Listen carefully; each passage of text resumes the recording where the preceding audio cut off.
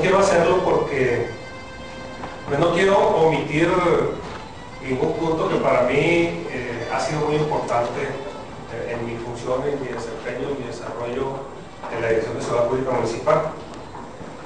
Quiero comunicarles, como dice el alcalde, yo recibí una invitación por parte del licenciado Manuel Espino en el mes de noviembre para integrarme al área de consultoría de la OTCA.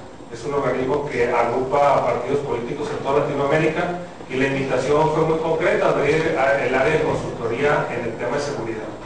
Eh, lo habíamos venido posponiendo por cuestiones del mismo trabajo, eh, pero bueno, ya, ya, era necesario tomar la decisión y por eso es que se, decide en estos momentos.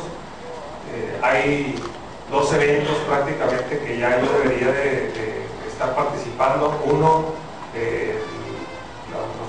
días en la ciudad de Medellín, que organiza la OTCA y que clausurará el presidente Felipe Calderón el sábado, el sábado que viene.